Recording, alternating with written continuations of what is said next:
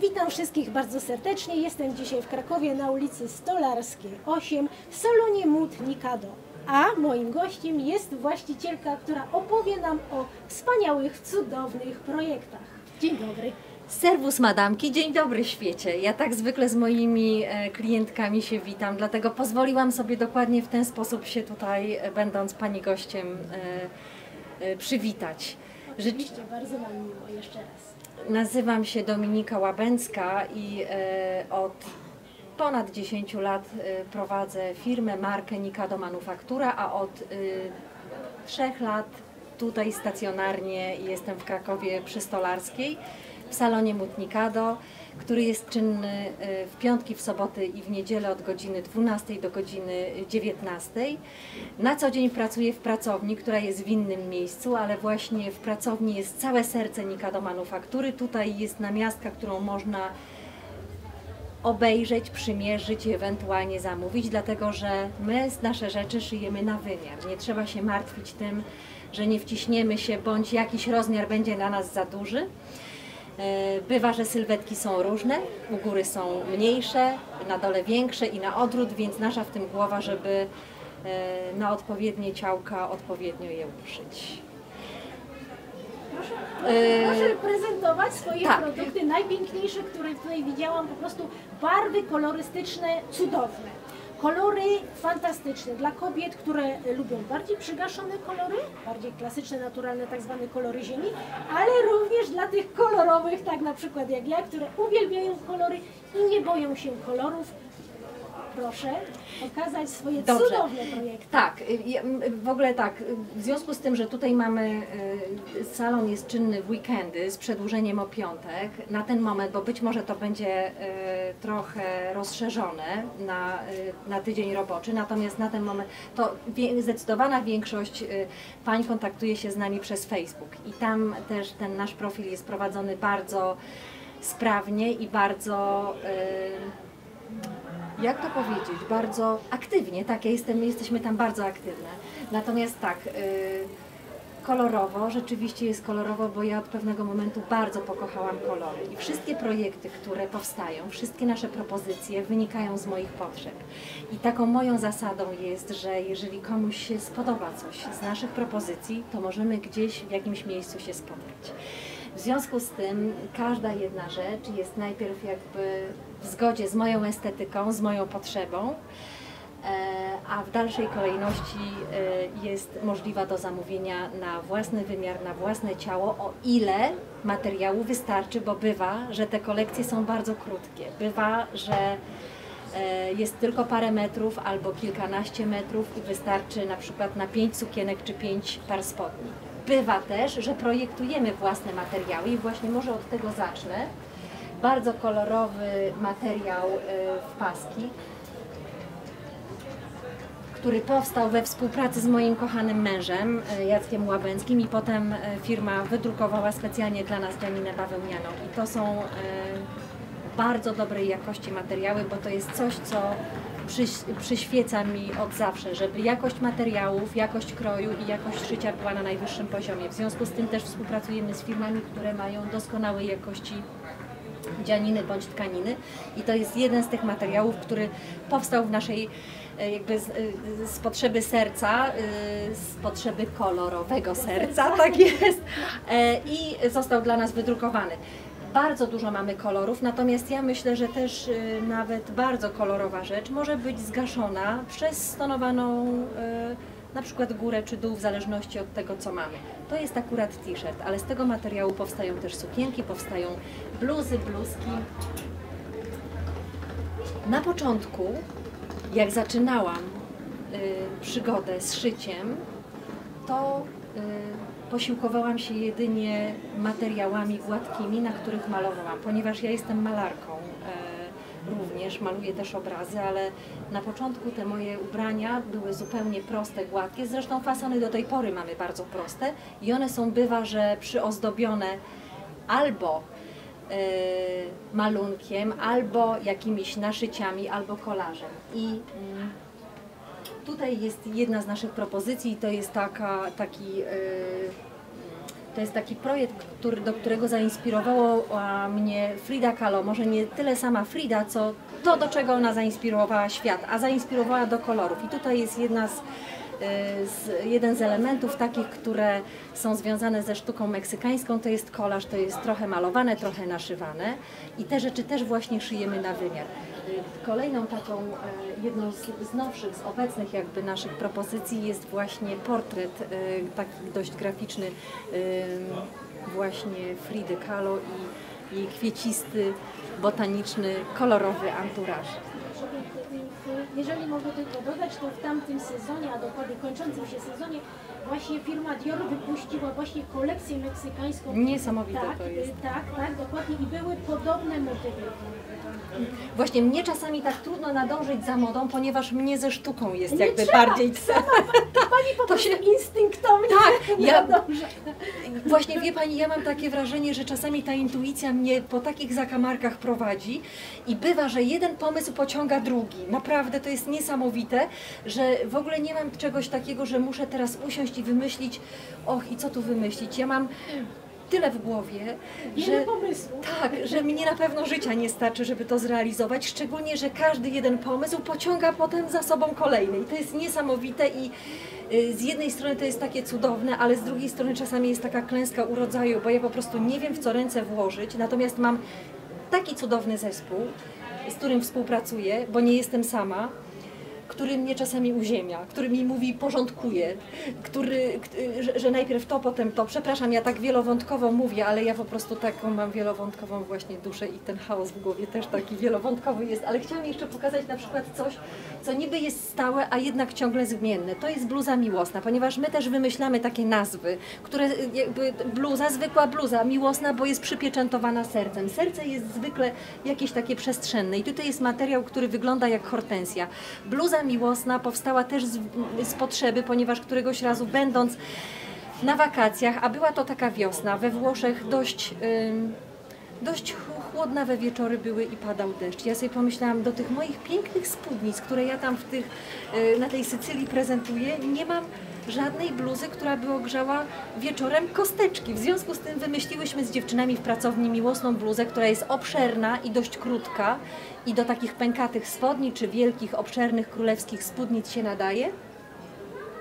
I to świeci triumfy od półtora roku. Naprawdę mamy y, przeróżne kolory, przeróżne te serca w różnych i y, materiałach i w przeróżnych kolorach i oczywiście szyjemy na wymiar, bo bywa, że panie wcale nie chcą takich krótkich, wolą dłuższe te bluzy, więc wtedy podają nam wymiar, dokładnie taki, o jaki prosimy, w tym miejscu zmierzone, w jakim należy zmierzyć i szyjemy właśnie na wymiar. Ale to jest jedna z takich, e, nazywamy słonecznikową, bo ten kolor razem z tym czarnym środkiem wygląda jak słonecznik, ale miłosne bluzy na przykład tutaj bardzo proszę jest taki kolor szałwiowy czy miętowy. E, też miłosne bluzy mm, mogą być w kolorze bladego różu i tutaj jest serce z tiulowej takiej koronki.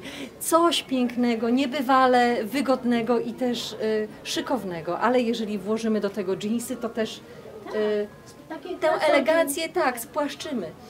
Ja wiem, że ja wyglądam bardzo kolorowo i ja wiem, że e, czasami to są takie, bym powiedziała, mocno przerysowane stylizacje, ale też nigdy nikogo nie zmuszam do tego, żeby poruszał się dokładnie w tym samym klimacie i temacie, ponieważ można wykorzystać dany element. Ja chodzę rzeczywiście tak na co dzień, bo tak lubię, ale wiem, że niewiele osób odważy się do tego, żeby na co dzień nosić fascynator.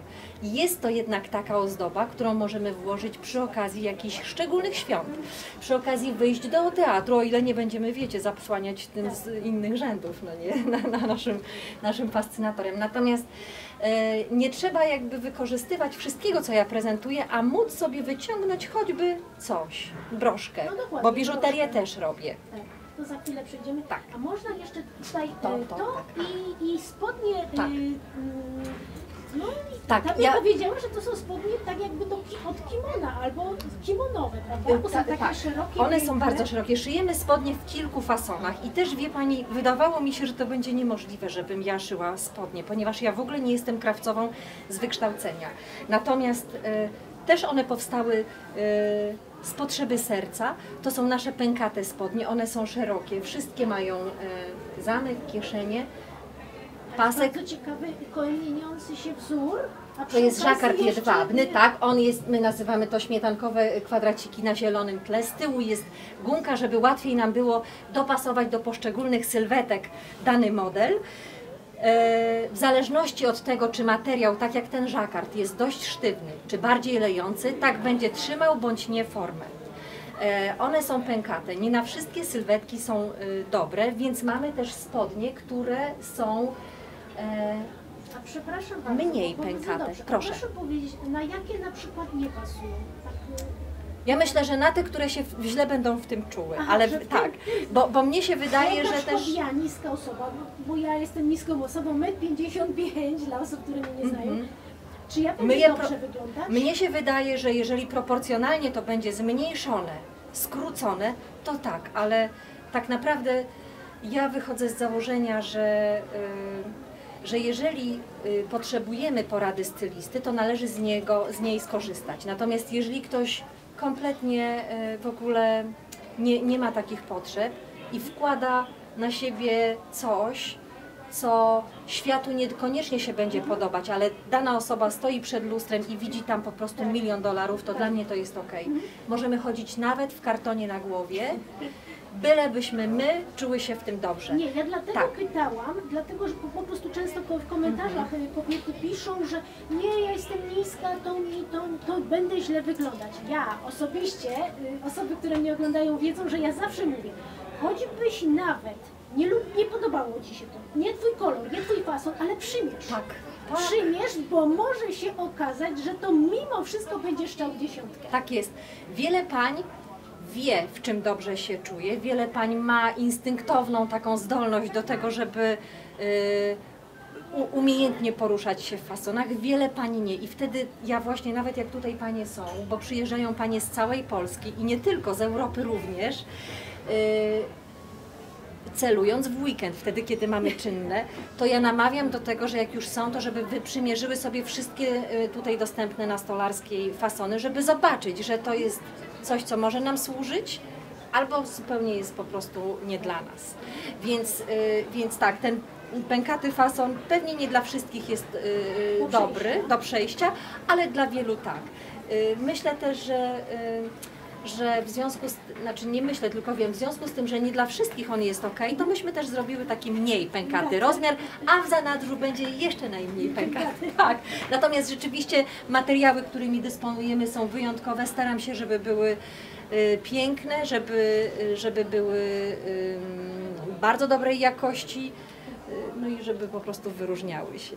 Także to są żakardy. Bywa, że z żakardów szyjemy sukienki i to też nie są takie sukienki całkiem e, proste, choć choć też nie, nie wiadomo jak szałowe. Tutaj mamy z takim bufiastym rękawem i to też trzeba wiedzieć, czy to się lubi. A jeżeli nie wiemy, no to warto tutaj do nas zajrzeć na stolarską i zobaczyć. To jest żakard, który jest no, wielce dekoracyjny. Z tego żakardu też e, w innych kolorach e, szyłyśmy płaszcze, które miały wewnątrz podszewkę. Zwykle też bardzo dbamy o to, żeby ta podszewka albo zupełnie była w innym kolorze, albo korespondowała pięknie y, z tym, co jest tutaj y, jakby Pięknie, motywem to jako, nawet jako gdyby to na przykład była tunika, bo Pani jest wysoka i to Tak. przypuśćmy, nawet mogło być tuniką, to, to tych czarnych, obcisłych spodni fantastycznie Prawda? jako obcisłe Tak. spodnie pod spodem, a tu tunika. Tak, tak, tak też może być, Cudowne. tak też może Dodatnie być. jeszcze różowe buty, które Tak. Pani ma idealnie pasują. Tak, Idealnie. rzeczywiście, ma Pani rację, ja nawet nie wiedziałam, że tak. Mam, o, pasuje cudownie. czas się tak ubrać. Czas się tak ubrać. Co jeszcze chciałam powiedzieć? To jest- Właśnie, mm, Te może. spodnie, które miały być y, delikatniejszą pęka- wersją. Te tamtych. są tak, Dokładnie. delikatniejszą wersją. To jest najnowsza nasza propozycja taka w grochy i niestety już skończyła się, bo po prostu w piątek pokazałam e, w e, tak zwanej modzie na sukces, czyli to jest taki tasiemiec, który ja co piątek nagrywam. E, Ten materiał dość sztywnawy, ale panie zakochały się i ca całą zarezerwowały już całą po prostu Bo to cały jest też najmodniejszy fason, to się nazywa e, beczkowy fason. O, I masz. Cały, tak, cały Benetton To ja, się, w tym tak, sezonie. to ja się od Pani tylu rzeczy dowiem, to jest niesamowite, że cudownie, no więc drogie Panie, jesteśmy na propsie, jesteśmy po prostu tak. Dlatego, dlatego się sprzedają, bo są super Cudownie. Tak, są świetne, bardzo eleganckie. E, I wiecie Panie, też mamy coś takiego, grochy. Tak.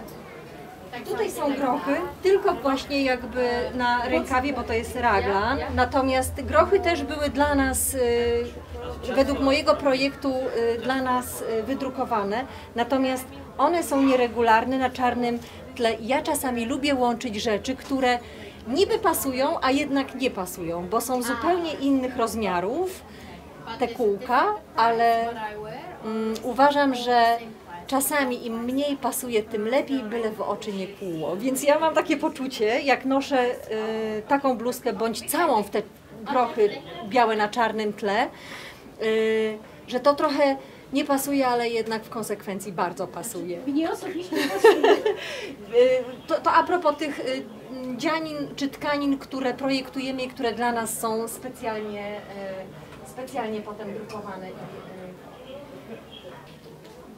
Oprócz tego, że jest Pani przepiękną kobietą, nie mogę się napatrzeć, to ma Pani fantastyczne oprawki okularów. Czy gdzieś można je na przykład dostać? Czy sama Pani projektuje? y, Bardzo dziękuję.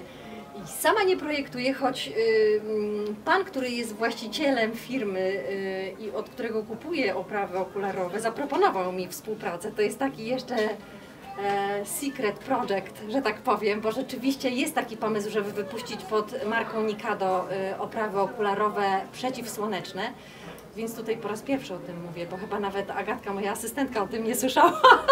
Ale rzeczywiście Andrzej Bodych. Andrzej Bodych jest y, optykiem, który od kilku dekad zajmuje się projektowaniem i wytwarzaniem y, opraw okularowych. Na najlepszych włoskich materiałach pracuje i ja pokochałam jego oprawki.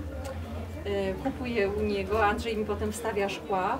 Bardzo polecam. Andrzej jest z Konstancina y, Jeziornej i wystawia się, wiem, że będzie otwierał swój salon, natomiast współpracuje z wieloma salonami optycznymi w całym kraju i wystawia się na różnych targach designu czy targach mo- modowych y, w różnych miastach w Polsce. Na pewno w Krakowie, jak jest Kiermasz, ten, który, y, który Mateusz Kaczan i Iza Chyłek y, relację. organizują, to Andrzej się zwykle tam wystawia. Bodych przez 2Y. Jak Państwo znajdziecie sobie gdzieś w sieci, to, to on tam wtedy informuje też na bieżąco w social mediach, y, gdzie i kiedy się będzie wystawiał. Ja go bardzo serdecznie polecam. Cudowny człowiek, świetny artysta i projektant właśnie opraw okularowych. A mogę zapytać o tą cudowną biżuterię, która wielokrotnie występuje w Pani filmikach. Mieli się kolorami. Co to jest za materiał? Tutaj y, to akurat ja, y, y, to, to, to jest srebro pozłacane i to jest firma Motyle. To jest trójmiejska marka. Ja się u nich zaopatruję, bo mają przepiękne rzeczy. Natomiast ja bardzo mocno też polecam mojego serdecznego znajomego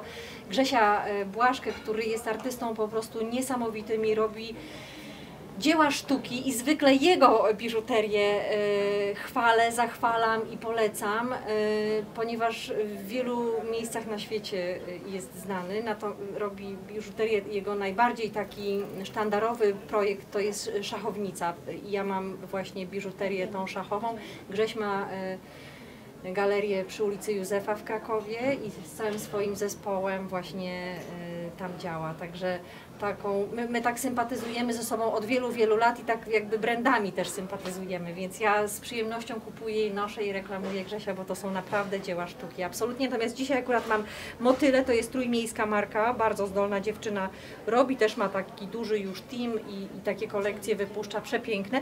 I ja sama też robię biżuterię taką bardziej tekstylną, choć Zaczęłam się szkolić w metaloplastyce, ale sobie myślę, że chyba życia mi nie starczy, żeby na przykład dojść do takiej perfekcji jak motyle czy jak Grześ Błaszko, e, więc na razie robię to tylko, e, tylko tyle o ile. Widzę tutaj fantastyczne, co to są broszki Tak. czy Mhm. broszki, Tak. tak? O, a tu jest, widzę, że Pani y, Logo, tak, moje alter ego. Ja, tak, Przepiękne logo, prawie że okulary te same. Tak. Idealnie piękne. To jest rzeczywiście broszka, która jest y, y, naszym logo, moim logo, ponieważ te łóżka okrągłe, kojarzące się ze znaną myszką, to jest takie moje alter ego, ale też uważam, że, e, że korony, bardzo wdzięczny temat, ponieważ e, wszystkie jesteśmy królowymi i nie należy o tym zapominać. W związku z tym czasami światu trzeba przypomnieć, zakładając koronę na głowę bądź przypinając koronę, ponieważ też mamy korony w formie fascynatorów. Fascynatory to jest coś fascynującego, począwszy od nazwy, a skończywszy na tym, jak się fascynująco w tym wygląda. E, To są ozdoby, e, które ja noszę na co dzień, a które wiele pań nosi na szczególne okazje. Mm, Ptaszki to jest e, motyw, który towarzyszy mi od lat. Kiedyś robiłam takie ptaszki z filcu, a teraz one są prestiżowe i na bogato, czyli przyozdobione przepięknymi kolorowymi kryształami, a wcześniej jeszcze całość jest e, powleczona przepięknym aksamitem. Różne rzeczy e, robię, w zależności od tego, na jaki pomysł wpadnę. Ten, ten taki obszerny kwiat to jest też inspiracja florystyczna, która e, wyniknęła z fascynacji kolorami, do których zachęciła Frida cały świat i to jest właśnie jeden z elementów tamtego projektu. E, Był też moment, kiedy robiłyśmy przepiękne mm, bluzy z naszywanymi na. e, To jest akurat kołnierzyk, on robi za biżuterię. I bywa, że rzeczywiście kołnierzyk może dodać szyku jakiejś eleganckiej już stylizacji albo być wyciszony przez t-shirt, bo uważam, że do czarnego t-shirta ten kołnierzyk wraz z takimi mankietami wygląda niesamowicie i nawet najprostsza stylizacja, taka jak t-shirt czy jeansy, jest w stanie zrobić wow. Jest lato, latko, ale jesień przyjdzie, o tym wiemy i to jest zawsze najbardziej płodny czas u nas, bo jest wtedy tak dużo e, cudownych tkanin, z których można właśnie jesienne otulacze na ciało, na głowę, na ręce szyć, że ja zawsze wtedy po prostu jestem w największym, w, naj, w najlepszej formie, od wczesnej jesieni właśnie do, e, do, końca, do, do końca zimy. Chociaż lato też obfituje w cudowne e, projekty. E, Z takich jesiennych rzeczy zawsze robimy też e, berety i czapki. Nakrycia głowy to jest coś, co ja uwielbiam, choć wiele pań twierdzi, że źle wygląda w beretach. Nie znam pani, która źle wygląda, ale znam bardzo dużo niewspółmiernie krytycznych wobec siebie pani. Natomiast zachęcam do tego, żeby jednak, żeby jednak mierzyć, żeby jednak nosić. I tu są berety, które są właśnie tak przepięknie przyozdobione.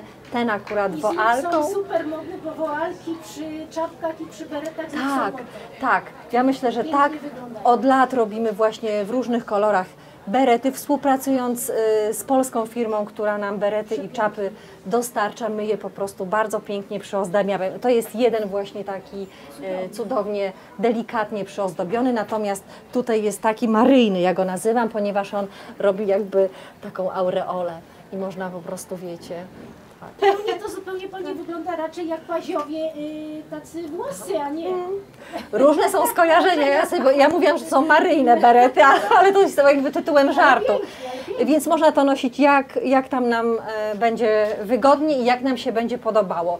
To są akurat berety w takich stonowanych kolorach, ale mamy rzeczywiście berety w przeróżnych kolorach i chciałam jeszcze pokazać na przykład czapkę, które też są jakby moim alter ego, bo one mają y, uszy, i one mają z tyłu taki kokon. Ja zawsze też panie e, instruuję, jak należy nosić, choć jeśli mają swój pomysł, to też można.